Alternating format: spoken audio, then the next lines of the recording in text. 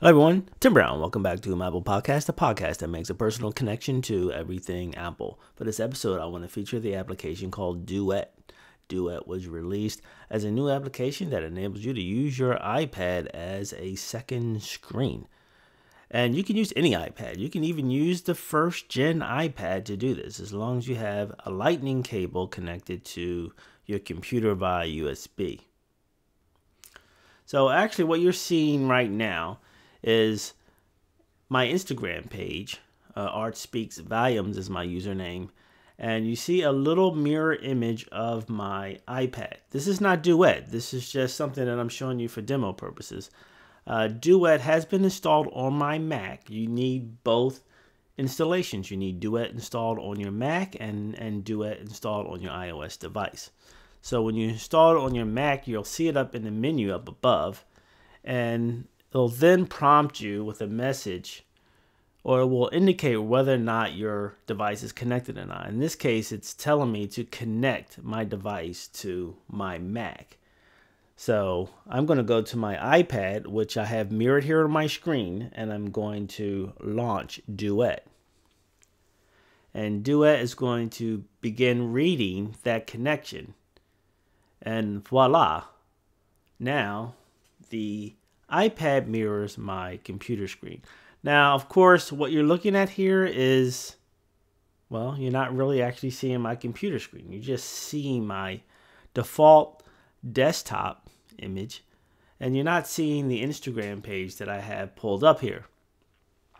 Well, the way the second screen works is it's it's literally it, it's literally an extension of your current screen. So, for example, if I take my cursor and just drag it over beyond the border, so you see it right here, I'm moving my cursor along the surface of my screen. But as I go to the edge of the frame, then all of a sudden the cursor will then appear on the iPad screen. So it's like it's an extension of the screen. And if I go back to the edge of the iPad screen, it'll then come back into my main screen. So for example, let me demonstrate how that works when I drag an open application to my iPad. So in this case here I have Instagram set up here on, in Safari. I'm going to go ahead and begin dragging this over so that the window goes outside the frame. And as you can see, as I'm dragging it, is now appearing inside the iPad screen. And the further it goes in, the more it becomes visible to the other screen. And I can now go ahead and navigate through the content on that screen while it's mirrored on my iPad. Pretty cool. And it works the same way. So if I take my cursor and I begin to, to drag this image back to the left hand side, you see that all of a sudden it starts to come back into my computer screen. Now let me go ahead and try this with video. So I'm going to go ahead and minimize this Instagram screen and I'm going to go ahead and bring this video over to where I have my iPad mirrored so I can demonstrate how this works with video. So I have a video here on my computer screen. Again, this is my computer screen. This screen here is my iPad being mirrored for demo purposes. This this screen here is actually my iPad which is placed adjacent to my computer on my desktop. I'm going to show you a quick screenshot so you can just see how my setup actually looks. But this is a mirror image of my iPad. Now I'm going to go ahead and take this video and again I'm going to move it outside the frame and as you can see as the video moves over to the edge of my computer screen it now comes into my iPad screen, which is positioned to the right of my computer screen.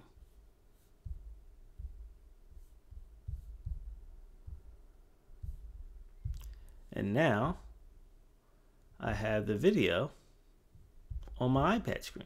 And now I can go ahead and take that video and launch it full screen while it, it appears on my iPad. And watch that video on my iPad that's a second screen. Pretty cool. And you can see there's very little lag. The video is playing. Even on the mirror image on my computer, it's still not playing that bad. I mean, what you're looking at here is actually an extra projection that I'm using for demo purposes.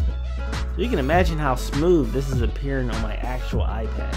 So this is Duet, a great application for using your iPad as a second screen. This is Tim Brown, My Apple Podcast. Thanks for tuning in. Check me out next time.